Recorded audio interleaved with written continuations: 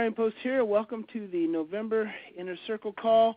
This is National Adoption Month. I um, think most of you are probably aware of that. Some of you may not be, and it's it's, it's been a very interesting month for me, um, particularly as far as the journal is concerned. The journal is actually not out and off to you yet. I have been having a very interesting adoption month process with this journal, and and I'm gonna been kind of you know waiting waiting to um, to have my my creative flow unleashed for this month. But there are a lot of things that have happened in my life as far as my own adoption um, goes that I'll be sharing with you guys this month in the journal. Um, that I think also kind of plays into that. So I'll be looking forward to sharing that with you. But as I said, I have a very special guest that's going to be joining us for the first half of our call. Miss Jeanette Yoffe from California is a marriage and family therapist, and she is also a psychotherapist who specializes in adoption and foster care. Now, what makes Jeanette so very unique and wonderful is that she's also a foster adopt child herself and she has a, a thriving private practice in West Los Angeles. And Jeanette, I get some of her um, emails. I'm on her her email list, and she puts on the the most phenomenal little workshops and trainings for the people in the California area. Really, people from from whoever wants to come in. But one of her most recent ones that prompted me to reach out to her is that she was having a roundtable discussion with adoptees and and people who've been in foster care mm. thought that that was really cool and i said hey i got to get this lady with all this passion and all this fire on our call to talk to our inner circle so jeanette thank you thank you thank you for joining us this evening Oh, thank you, Bryan. I'm so happy to be here and part of your inner circle call. I well, really we, am. We're extremely thrilled. honored, extremely honored. Why don't we start off, Jeanette, by you telling us about yourself? Who you are, how you got here, what you do. Let's just talk. Okay, and we have how many minutes? okay. Uh, you take your time. You we, will my... we'll make we'll make all the time available we need. Oh, thank you. Um, well, let me just say that um, I'm originally from New York. I currently live in Los Angeles, and I was um, I lived with my birth family for 15 months and then my mother experienced my birth mother experienced some mental health issues and then i ended up going into foster placement. Um i found out later after reuniting with her uh gosh 5 years ago very recent that um she was trying to reunify with me. Uh but there were a lot of issues at the time and I was supposed to go live with family members who were in Argentina because my birth mother is native Argentinian. Hmm. Um, so you know, I've learned a lot of new information as an adult, and only recently, five years ago. Wow. So, um, so at 15 months, I went into foster care in New York, and I later learned as well that I had a biological, full biological brother with the same father, and we met um, when I was like after we both graduated high school, he had searched for me for 4 years. And j- just before this phone call, I computed that my birth mother was carrying him for the 8 months that I was that I, I remained with her. So I had knowledge, which I didn't know, that there was a baby on the way. Yeah. So, you know, like these early experiences, and I was only 15 months when I separated from her, but I was able to see that her belly was growing, that she was carrying a second child, and then I was to be separated from her. So, I, it just makes me it just makes me think about the grief and loss issue in and of that, because when I went into foster care at 15 months, I stayed in foster care with the same family until the age of seven and a half and people always ask me why were you in foster care for so long and at that time um there was discussion and you know in the 70s kids were getting lost in the system and there were so there was such an overflux of children going into foster care that I almost have a feeling that I was one of them because I rarely saw my social worker. I didn't really understand. I thought they were my forever family, my permanent family, but they weren't. And it wasn't until I was in first grade when I put my name on my desk and I wrote my foster name and the teacher had to correct me and tell me, "Oh, that's that's not your name, Jeanette. Your name is your birth name." And it was the oh, first wow. time I'd ever seen my birth name. I'd ever had an understanding of, "Oh, this is not my family. This is my foster family." So it was really confusing for me. and that was first grade.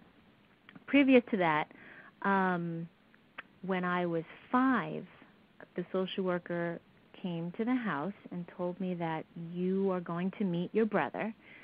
And I had never known at that point consciously, you know, as you know with the memory, I didn't know consciously that I had a brother. So she was telling me, You have a brother, and you're both going to go on a long plane ride to Argentina to go live with a family relative, my birth mother's sister. And so here I was, I'm five years old, getting all this information, and I remember all that I wanted to do was go outside and play because yeah. first of all, it was overwhelming, and second of all, I, I I could not comprehend what she was telling me. It was just really confusing. And then a few weeks later, I ended up meeting my brother for the first time, and he's 13 months younger than I am. And we met, and it was one of the scariest moments in my life because I had seen a sibling, and I never had the experience of being reflected so clearly and mirrored because we looked identical. Oh my gosh. And so here I was, five years old. We ended up going out to Burger King, and we had passports made, which I just got my hands on um, less than five years ago. And the the look on my face. I mean, talk about dissociation. You know, photo a photo from that time period was rare for me. I didn't have any baby photos of myself. Um, nothing. And my my foster family did not take photos. Um, so I basically came into the world, you know, as a seven-year-old girl. Um, but this photo of me, this passport, I just look so dissociated, shut off emotionally, and really overwhelmed. And it's hard for me to look at that photo because I, I can read into it now and understand it now as an adult what I was experiencing. But at that time, it, it was it was really overwhelming. And to add to that, we never went to Argentina. Um, my I never saw my brother again. I ended up going having a few visits with different families to they were to consider uh, adoption for me because at that time my foster family was just that a foster family and it wasn't on the table foster adoption like it is today um but looking back also and I'm still in contact with that foster family they were an older couple. They weren't um, able to care for such a young child at that time, so they were pretty much ready to also find a family for me as well. Um, so I never saw my biological brother again. Uh, the talk of going oh, to Argentina, wow. I never heard about again, and it was never discussed. And here I am, seven and a half. I am a I go to a family, a potential adoptive family, and uh, my adoptive father has told me many times when we first met you, I, I realized here was a child with who was already a person. I had so much experience behind me that he had no idea about, and that was scary for him to you know take in a seven and a half year old and not know any of the experiences that I had experienced and just know that he had to just be there for me um, and be of support. And uh, I think the reason why I'm a therapist today is because I so desperately needed mental health services as a young child, and I see so many kids today that just really need to be heard and seen all that grief and loss and those overwhelming feelings just need to be recognized by someone who gets it. As you know, Bryan, you know, they really need a therapist who understands the attachment needs, the sense of safety, the security, um, and really understanding how to be with all these overwhelming feelings and not be overwhelmed and dysregulated yourself. Mm-hmm. Um, and that's really my goal in helping parents and families and children really help each other see and hear each other so that attachment can thrive.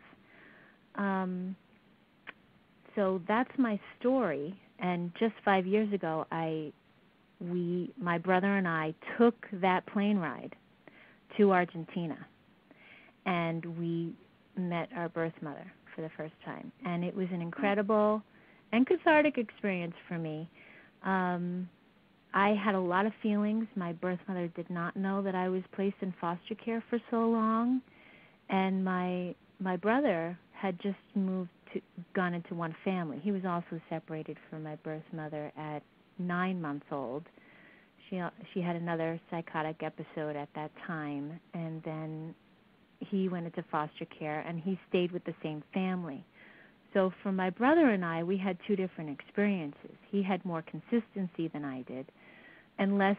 You know, I wouldn't. I don't want to compare grief and loss, mm-hmm. um, but I definitely had more rage, um, more anger towards my birth mother because I I suffered more. I had more challenges than my brother did, where he was able to really attach to his um, adoptive family, where I had a lot of issues because I was an older child and I didn't get the intervention I needed, which was mental health, attachment focused family work. Um, it wasn't until I was 13 that um, my parents started to really see that I was really challenged emotionally because uh, my my adoptive family first they took in me, they adopted me, and then they adopted my brother. Uh, probably about three years later, uh, as an infant, he was a drug exposed baby.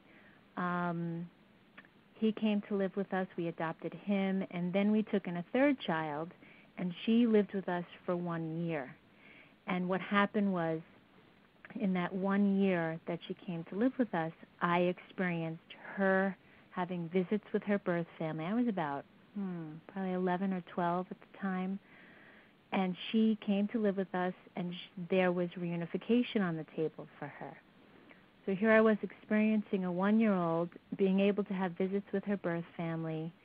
I was then questioning is my birth mother going to come and get me? Where's my birth mother? I started having all these questions about my own story and then this this baby was reunified with her birth mother and that pretty much triggered my whole trauma all my trauma.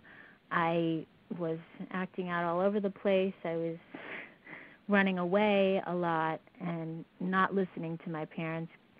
And they weren't understanding my grief and loss and yeah well they they wouldn't have had any idea as to what no caused idea. that. Yeah. Yeah. And they just saw it as you know disrespectful defiant and i got the typical you know go in the corner sitting on the steps getting my mouth washed out with soap which for me and i've talked to my adoptive mom about it today which for me oh, only reinforced my sense of shame mm. that see i'm just not good enough i'm just i'm all wrong and it just and it pains me today because i i still feel that part of myself that's it never goes away. Mm-hmm. It, it's how you manage it. And I teach and when I work with teenagers, I talk about that. I say, you know what? This is, you know, the term the lifelong process. We're always going to have these feelings. It's what we do with it that matters, because we can't fix them. They we can't make them go away. They're going to be there, and they're going to come up at the most surprising and alarming times. And it's listening to them, acknowledging them, and loving those parts of ourselves. And I've really learned to do that. And I think with the work that I do, I'm so passionate, as you see, um, you know, creating events like the Resilient Spirit. Really, it helps me to reinforce, you know what, I've been through a lot, and I'm resilient. and I'm going to be a mentor and I'm going to give back and help children and adults and adult adoptees and children former foster youth recognize the resilient spirit in them because when we can have hope it can get us out of that despair Mm. and that's truly my goal um, and i use myself a lot as the model Mhm. and you know because i feel like if if i'm not doing the work then if i don't go far within myself then the families and children that come into my office are not going to go far within themselves so i need to do the work too and i feel like that's a responsibility i have in coming so far in my life like i always feel that i was lucky because looking back, I did not endure physical abuse. I mean, there was some, but it wasn't pervasive. It wasn't on a daily basis. I did not experience sexual abuse and you know my I had another through our home who did experience sexual abuse and it's been very difficult for her to feel safe and secure in the world. And I do feel like I'm lucky because the family that adopted me at seven and a half, I also learned as an adult that they were offered an infant. And then they got the call about me. And she was still deciding whether to take the infant. And then they called, the agency called my family, my adoptive family, about me. Well, you know, we have a seven and a half year old girl. She needs a home. Would you also consider this child?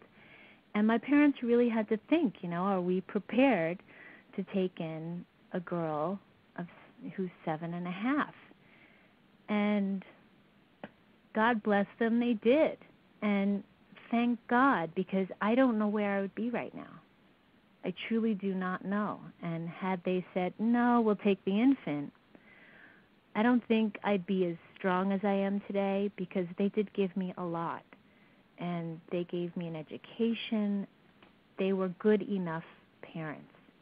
And I feel like the the strengths that I received being adopted at that age um, have only enforced my work today.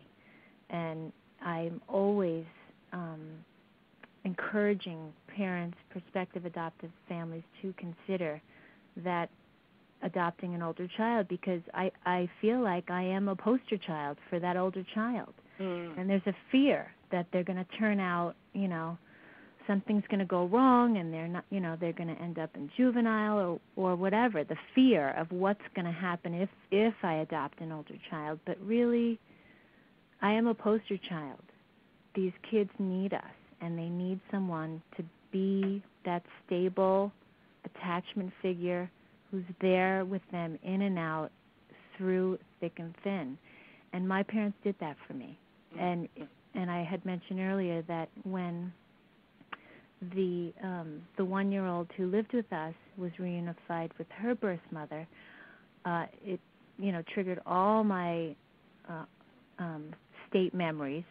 And then I started acting out all over the place.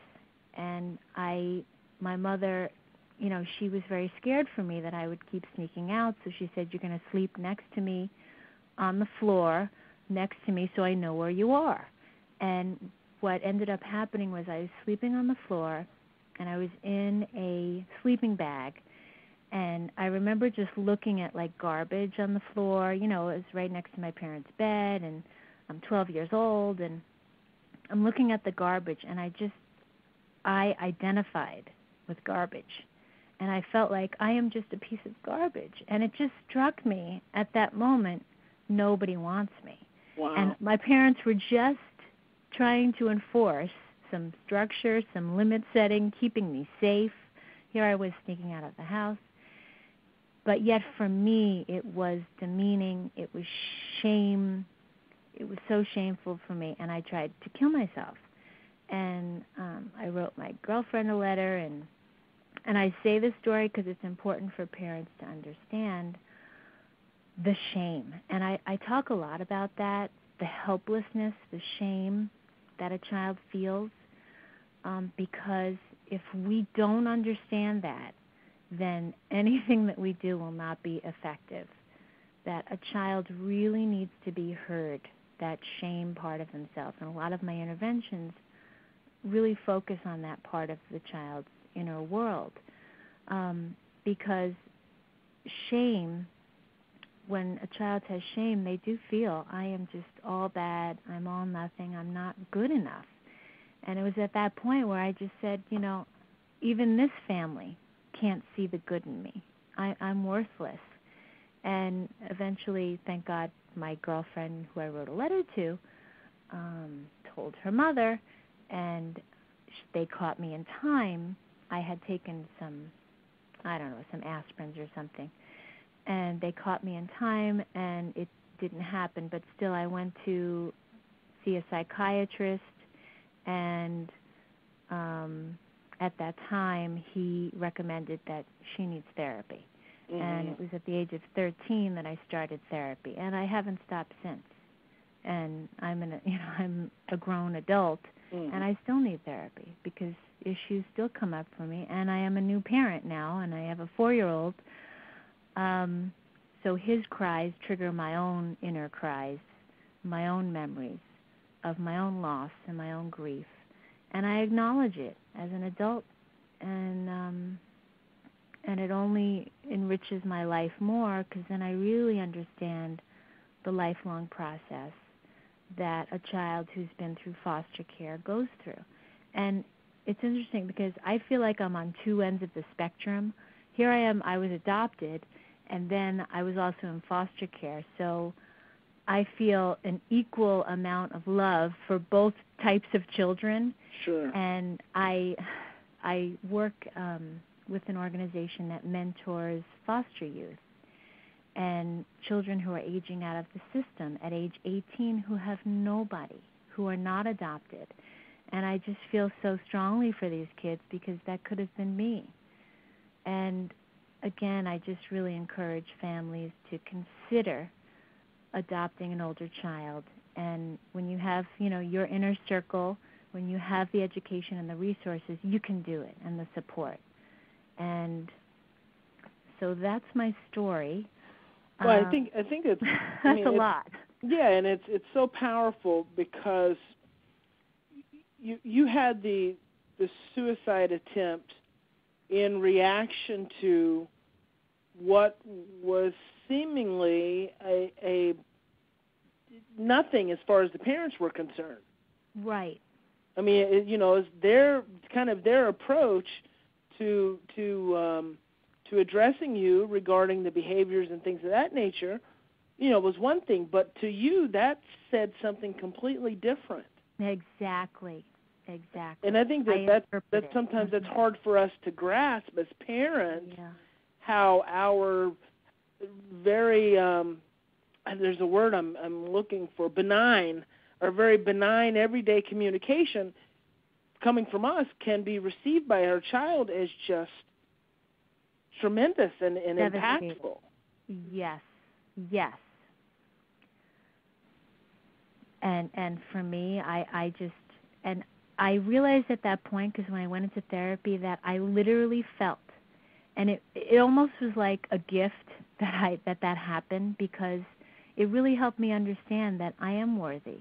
But Mhm. I really identified with this, you know, this ball of paper that was in a ball that was just thrown out and missed missed the garbage pail. But that was me. Mm. That is how I saw myself. And wow. you know that and i always ask kids to when they come into my office to give me a, a symbol or something that they that they identify with that is them because it's so telling you know and i'll gi- i'll show them the example and i'll give them my own example from my own life. You know i thought i was a ripped up piece of paper. I thought i was a piece of garbage. Mhm. you know what's your symbol what how are you feeling? What does it look like to you so children can get a perspective? Because a lot of kids especially in this population um work a lot in fantasy. They live in that world. Yeah. and so I help them really explore through objects and symbols um, because there's a lot of talk, a lot of times there's a lot of, a big theme about this big black hole with kids, and we'll draw this big black hole, which really is that primal wound, that Mm-hmm. abyss of just utter despair and helplessness that is so scary to go into because you have to feel it. And we'll draw this big ba- black hole, and sometimes we all go in it. Even the parents will all go in the big black hole and see what it feels like and experience it together. So we, the child feels heard, feels acknowledged. They're not alone in the pain. And really, that's my goal because I so badly wanted my parents to be with me in my pain. I would say all the I would cry all the time and my mother would say my adoptive mom would say stop feeling sorry for yourself. Mhm. And you know what I needed her to say? Mm. I feel sorry for you. I wanted her to feel sorry for me. And I I've talked to her about this as an adult and she was able to apologize to me and I was so grateful. I just needed you to say, you know, just let me cry and go, "Honey, come here. Let me hold you. I can see how sorry you feel and I'm so sorry you feel so sorry." Mm. And really, that's what I help parents understand to have compassion for that child's, you know, have empathy for that child's uh, just uh, despair and, and grief and loss. And that child will attach. It's what Mm. they need. They'll soak it up like a sponge. That grief, that grief from the perspective of the parent is so hard, Jeanette. Is. because because we don't know as as especially as adopted parents or foster parents we don't know we don't even know that there's grief there. And and let me read i want to read a quote because i want you to talk more about that. Um, but this comes from um, peter levine. His, his his book trauma through a child's eyes.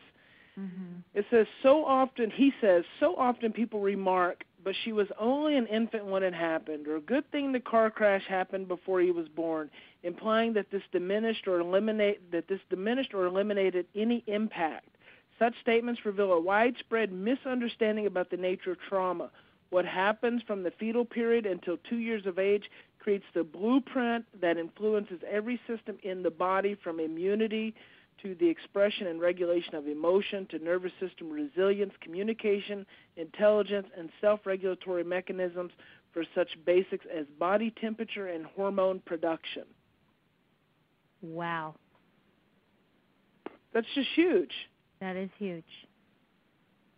And and to have to have any of those loss experiences and your symbolism of being being a piece of trash just thrown out, I mean, that's just so so enormous just thinking about being being placed for adoption or put into foster care, you know, and and having even having your mother pregnant with your brother while you were were still with her. Yeah. You know, there's even more symbolism with that and, and that to think about how we no matter how young we are, we carry that that memory, those imprints and that there's grief there that and this is as far as I'm concerned, this is relatively un, untouched and unacknowledged in the adoption field.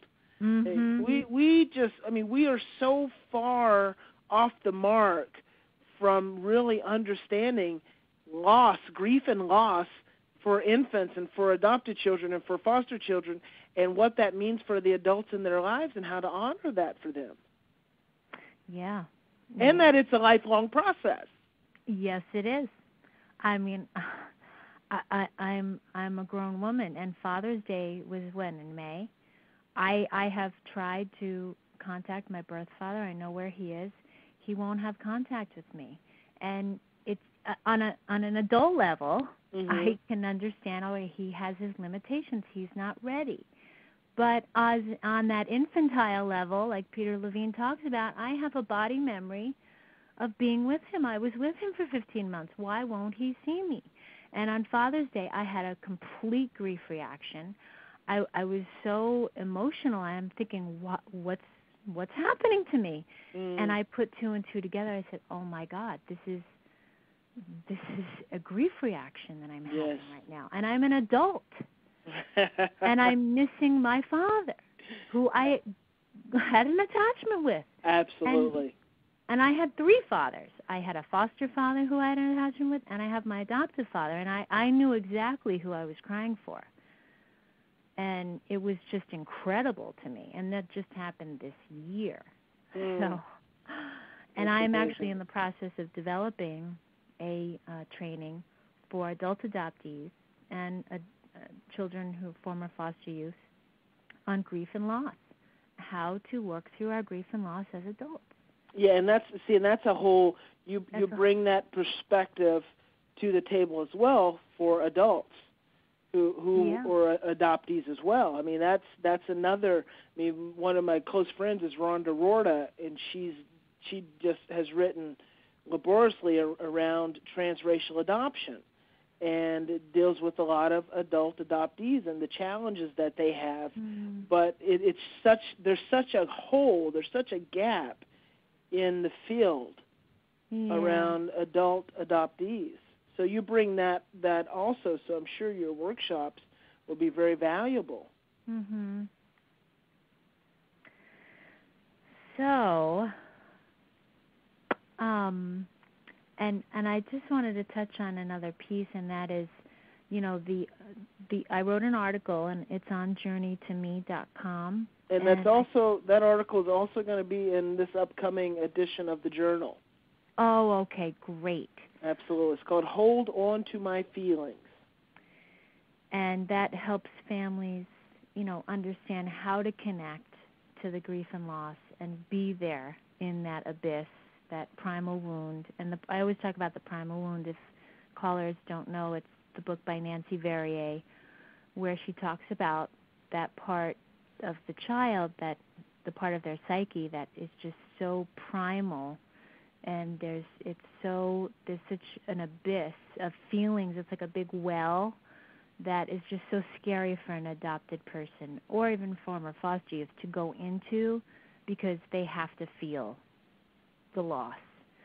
Um, and it's interesting because I'm a new mom. I, I have a four year old, and as he was attaching to me, I all my grief was I, I was feeling very sad because the more I saw he needed me, the more I saw how much I needed my birth mom and how much oh my god.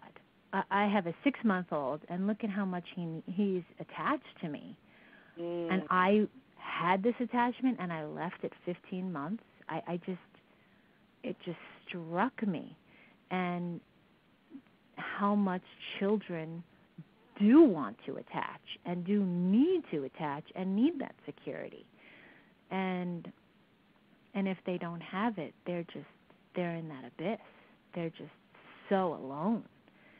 And i was lucky to have that attachment and then lose it which was not lucky but i was able to have that. But it it actually it helped me understand much more on a deeper level how attachment is formed and how much we as human beings need it um, to feel What- safe and secure in the world. What do what do parents need to listen for when it comes to being in tune with their child's grief?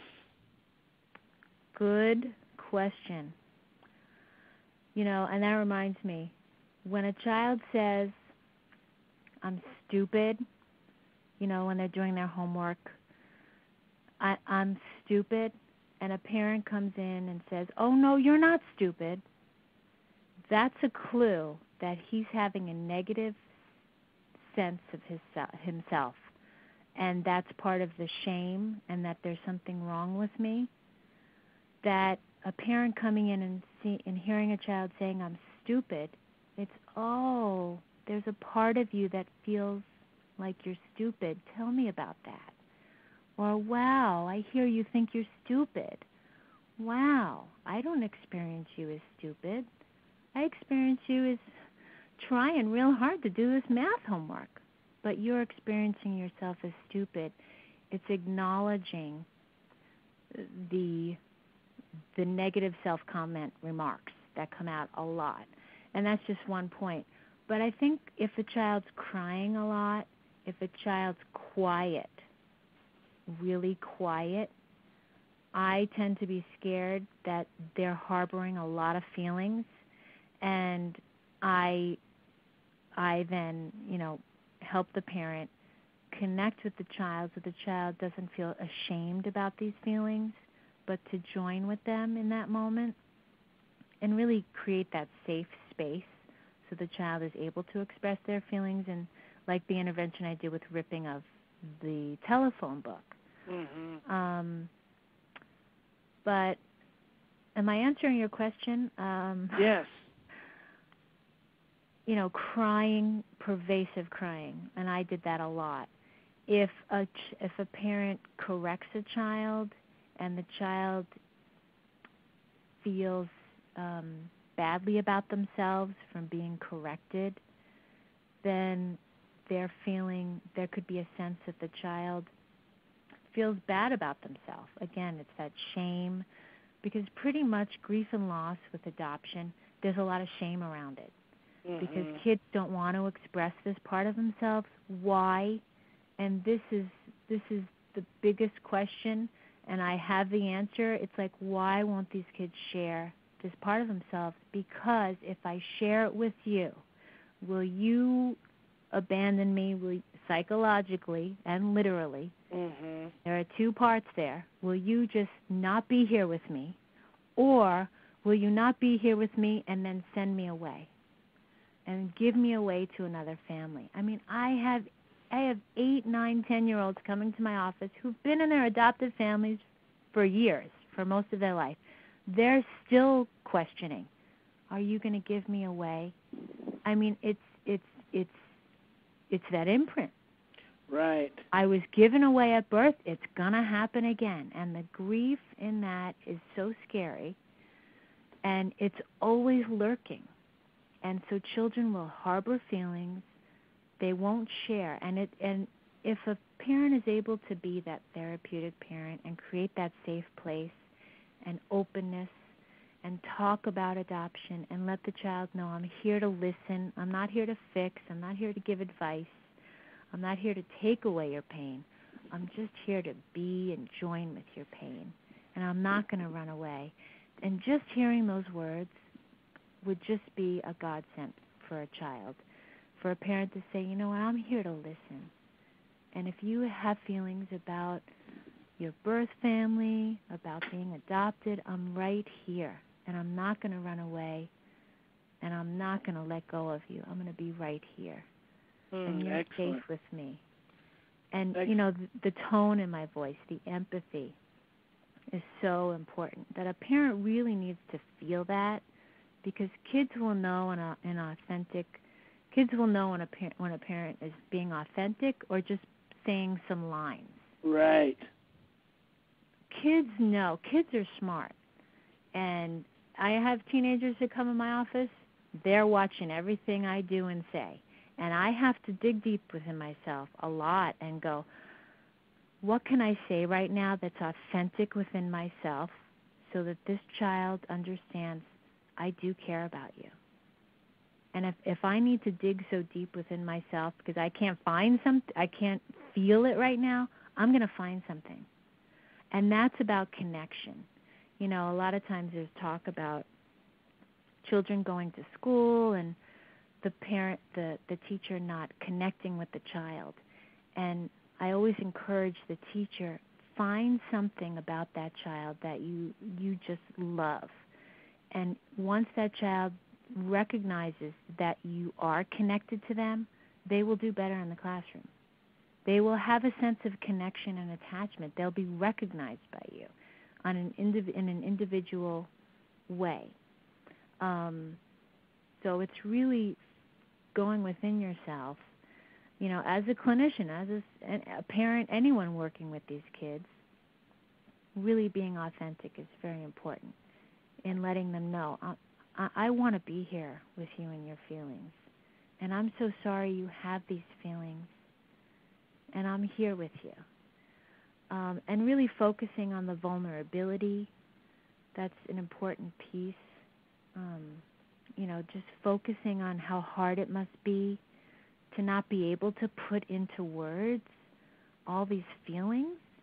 Because I think a lot of the time too, we we put pressure on, you know, tell me how you're feeling, and then then they don't have the words, and then we feel helpless in that moment, like, oh, I'm not being here with my child's feelings, but all you can say is, you know, I see how hard it is to find the right words.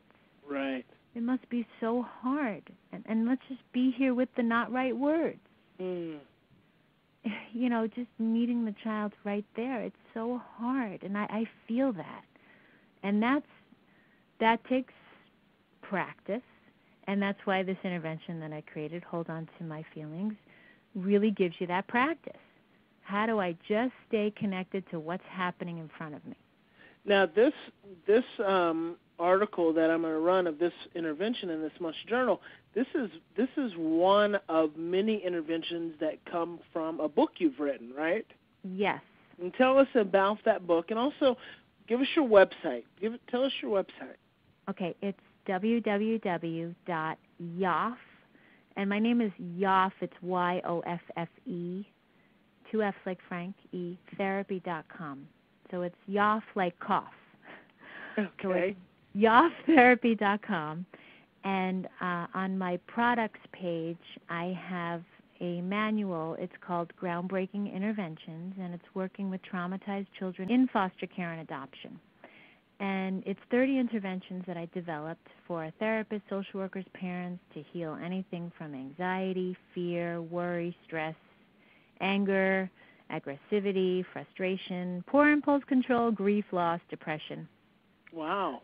Uh, yeah, and I target these specific issues with each intervention. And you know, I developed these because I so much thought, you know, I'm going to all these this these um trainings on theory, but what do I do? Mm-hmm. And I just started to dig deep within myself. Well, what did I need as a kid? What did I need? Cool. And I developed my first intervention called the anger bag. And I needed help. I needed some coping skills. I needed to understand that there is a container for this anger. There, there, I can do something with this anger. I don't have to feel so helpless in it. And so I created this intervention called the anger bag because I, you know, I get calls like at, you know, eight o'clock at night. My child's banging his head against the wall, and the parent was feeling helpless too. I don't know what to do. So I created this bag for the parent and the, for the parent to have accessible for the child to notice when a child's becoming dysregulated, when they're becoming irritable, and offer them a coping skill in that moment. And it's, you know, they pick one of the 16 interventions. Usually I limit it to three, so it's not so overwhelming. We choose three, and then the parent offers it to the child. This is created together with the parent and it gets children excited and this is the strangest thing but i get kids excited about expressing their feelings which is what we want so that they feel effective Mm. and that builds self esteem that builds resiliency i know what to do when i have these big big feelings. They have knowledge. I mean knowledge is key. And you know so much of the time uh, helping these kids develop self esteem comes from educating them, giving them resources so that they can do it on their own, so that they have it at their disposal, and helping them do it um, and being a support to them. So I really, um, you know, that's one intervention of 30. And um, and some people call me the bag lady because when I started the anger bag, I then developed three more bags. the stress bag, the sad bag, and um, the out of control bag. And they have different fun things for kids to do to apply their their feelings uh, with. And And you talk helps about all of these in your in the book, in the groundbreaking book. intervention. Yeah. Mhm. And you know it helps parents too. They they don't feel so helpless. They're like, "Wow, I I have something to offer my child in the moment, and I don't feel so helpless. So it, it, in a way, it helps regulate the parents too. Cool. It, and a bag serves as a container, a containment, because feelings are messy and they need containment.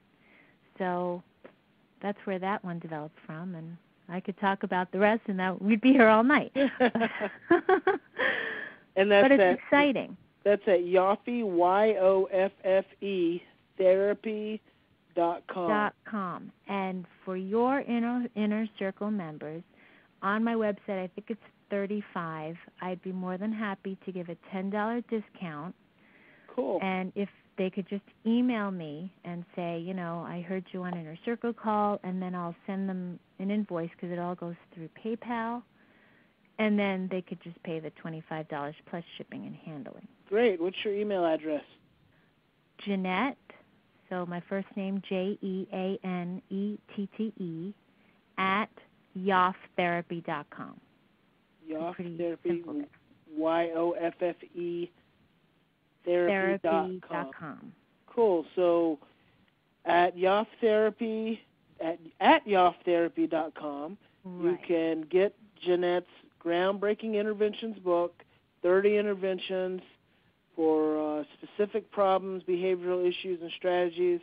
It's 35 on the website. She's offering it to Inner Circle members for 25. You just email her at Jeanette at yoffetherapy.com and she'll send you the invoice. Correct. That's excellent. Thank you very much for that. Thank you. And and we have gone over the time that Oh. you had allotted me, and so I apologize, but I am very appreciative and thankful. Um, Oh. again, I want to say you you're doing phenomenal work, and we would be honored to have any of your your written contributions to include in the Inner Circle Journal at any time. Oh, thank you. And Thank so you. keep up keep up the great work, and, I will. Um, we appreciate your time very much. Thank you, Bryan. I, I'm happy to be here. All right, you bet. All right, gang. Um, hope you all enjoyed our conversation with Jeanette. I actually had some questions that were emailed in, um, and I want to talk about those before we run out of time. And let's see, and Jeanette, are you going to stay? Are you with us still? Yeah, I'm here. Okay, great, good. You can hang out with us as long as you'd Okay. like. Actually, I have a question. Um, since you're going to hang out with us, um, I might get your your insight and input on from a, a grief standpoint. It comes from a mom, Kathy. She says she just had a surgery. She said it was weird because after the surgery, the girls wanted to see the cast that she had on. These are she has three adopted children. She and her husband. Um, they're teenagers, young teenagers. They didn't ask anything else. Angela even almost kicked my leg, parentheses deliberately question mark, when she got mad at me about something at bedtime last night. Also this morning, none of them asked how my leg was feeling. This afternoon, Johnny asked how I was doing, but the girls didn't. Is it normal for kids to act like they don't care? Do they think they do you think they are afraid of the fact that mom had surgery or do they feel a bit perturbed that I can't do everything right now that I normally do? Dad has had two surgeries since their adoption. This is my first ever. The, uh, this is not a huge question, just more of a, more of a curiosity. What's your thought about that? Well, um, the fact that they're not asking questions kind of makes me think that they're scared to ask questions because it could be triggering their grief and loss. Could my mom, could I lose my mom? And to even ask the question, you know, are you feeling okay, mom? It, there's a sense of I could, can I lose you, mom? You know, they're afraid of the answer. mm-hmm. So it it makes sense that they might be scared to ask questions. I, I think it comes down to reassuring. I mean, anytime a parent has an operation or surgery, it is going to trigger I, I could lose this person. And so children need a lot of reassurance that you're going to be there, you're going to heal. I may be in bed for a few days, but letting them know the whole process and preparing them and reassuring them that they are not going to lose you to this surgery um, is really important. Does that make sense? that makes perfect sense. And the the reality is, is they may be young teenagers, but this is not about their teenage brain. This is not No. about their their chronological development. This is this fear of loss. And John Bowlby says the threat of loss is equal to loss itself. And so, at a at a brainstem level, at an emotional brain level, this can send them right back to being, you know, one and two years old and and abandoned in an orphanage, and there can be all kinds of anxiety that gets generated by a parent, an adoptive parent, having surgery. Um, Yeah, yes. And I'm curious about their interpretation of why they're adopted because a along when I was growing up, I thought that my mom was really really really really sick. And so anytime somebody got sick, of course I would think, "Uh-oh, I'm going to leave again." yeah. So I don't know what their story is. It could be triggering their own understanding of their maybe they think their mother was sick. I I don't know what the story is. Um but that's a piece too. hmm Okay, excellent. And I, I think it is definitely we we have to keep in mind that these are still children, and children don't always know how to ask questions. They don't know what's appropriate to ask. They don't know how to ask, and even if they do care and are concerned, they don't always know how to go about broaching the situation, especially if it could be potentially threatening. They they may be afraid of what they might hear. Yes, yes. So And I'm and there's just one little piece and that is if a child's experiencing pervasive shame, they don't have guilt because guilt is developed after shame. So guilt is when someone can understand another person's experience. Oh, interesting. So if if if they're in pervasive shame, they're in that egocentric brain. They're just in their own experience. But when a child does not experience guilt readily when they do something wrong, then they are high, then they don't measure high on levels of empathy. Mhm. And that's been sci- that's been proven. Children, individuals who are rated high on measures of shame are rated low on measures of empathy for others.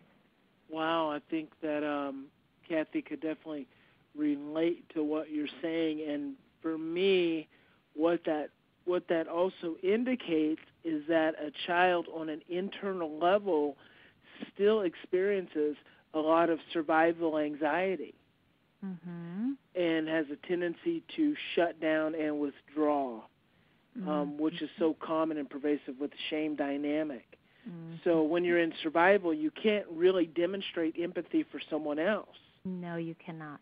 And so it's really important to be sensitive to that dynamic if we're experiencing that with our kids. Mhm. Now, I had a general question here also, um, and feel free to, to comment as well. Says, Dear Bryan, I would be interested to know what are your thoughts regarding bullies? What will you do if your child will be bullied at school? What will be the measures you will take, ask the school to do, deal with your child? And what will you suggest on how to deal with the bullier? What do you think it should be? What do you think should be in place at school?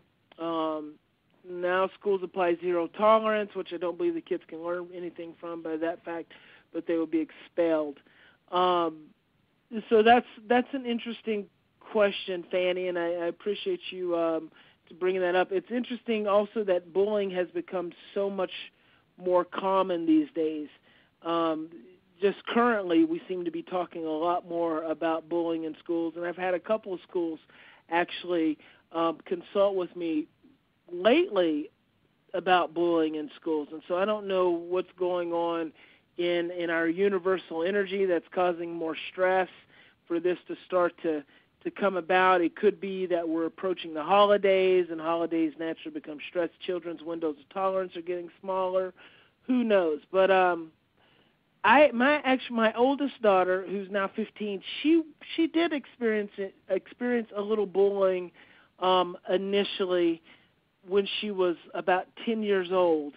And I don't think it lasted very long, and it was not an issue that really had a had too great of an effect on her because she's always been pretty um pretty independent minded. So I haven't really had a lot of of specific experience as far as my own kids are concerned. But what I always suggest to schools, and it's actually quite simple, is that once the child or the group of children who are doing the bullying can be identified, it is the responsibility of the school to create enough regulation for those children and enough understanding for those children, those children who are actually doing the bullying, that they are no longer that they can no longer be in that emotional place to feel threatened enough to need to bully. And so one of my specific suggestions is once you identify the bully, the bulliers, whoever they are, they get assigned to an adult in the school. And they get assigned to spend time with that adult, to be mentored by that adult. They do their classroom assignments with that with that and this is usually a teacher. They have lunch with this teacher. They are really encouraged to be in relationship with this with this teacher. Really the teacher takes complete responsibility. And when a school is willing to do that, I call that revolutionary bully busting. When a school is willing to do that, bullying doesn't last very long. It doesn't even the child who's being bullied does not need to be brought out as the cause of the intervention because that's just another dynamic, another reason, another experience for the child to be shamed by. The reality becomes it's not the child who's being bullied who is the only one being affected and impacted. It's the child who's actually doing the bullying who's obviously crying out for help and in need of more regulation in the environment because that child feels threatened. So, one of my most direct approaches is to have the school and the adults immediately step up, take responsibility. I've had that happen in two schools with some pretty dramatic um, results by being able to take that approach. So that's like probably the most simple and the most direct, efficient way that I work with schools to approach bullying. Um, as a parent, you take on the school, you don't want to even view it as taking on. You want to view it as going in partnership with the school. You want to talk to the special education director. You want to say, This is my concern. You know, my child is reporting that there's some bullying going on, and these are the kids that he says that, that are being involved. And I'd really appreciate it if you could talk to him or if we could come and talk to you together so we can try to figure this situation out. And I think I'm even going to keep him out of school for a day until there's an opportunity for these kids to be to be identified and to be addressed. And then what I might also encourage is that your your child be assigned a mentor or be assigned an aide or a shadow for a period of time, not someone to walk beside him all the time or to hold his hand, but someone just to be there and to be more observant of his immediate environment. So that's also very important. And then when we start thinking about children with emotional challenges, which a lot of our children do have emotional challenges, they're not always able to relate socially and emotionally as effective with kids their own age as a lot of the other kids are able to and so they can easily become targets. And if that's the case i have i have you know i've read about bruce perry going into schools and talking to the classroom about some of the challenges a certain child may have just based on their history and their brain development and their early experiences and how that can create challenges in their abilities to relate to help create more understanding amongst the other students you know to have the school counselor give an edu- give give an educational discussion on the effects of trauma the effects of of loss and abandonment and things of that nature to help foster more understanding amongst the kids as opposed to a lack of understanding. So those are some like some immediate ideas that I had and and have oftentimes and share in regards to bullying. Jeanette, is there anything you want to offer there? Well, there's a show on MTV called If You Really Knew Me. Have you seen it? I haven't. And it's about these kids who get together and they have uh, an adult run the group and they really and it's it's kind of like a rap group where the kids can share parts of themselves that maybe they're afraid to share with someone else and it's called if you really knew me. And maybe there's some form of a support group that can be developed where there's a group uh, like a rap type of group where these kids are asked to be a part of and they have these groups throughout the school throughout the grades.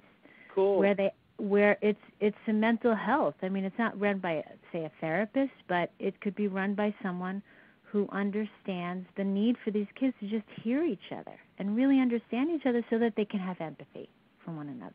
Absolutely. I mean, that's excellent. Oh. All right, gang. Well, that's it for this evening. I appreciate each and every one of you. I just want to say in closing, we always have two options. We always have a choice. There are two choices in any given situation, in any in any experience. We can continue to react from our same old experiences and blueprints and past traumas and experience and operate out of fear, or in any given experience, we can choose love. We always have the choice. You have the choice. I hope you choose love. God bless you. Look forward to talking to you next month. And Jeanette, thanks again for joining us. Thank you, Bryan. All right. Good night, everyone.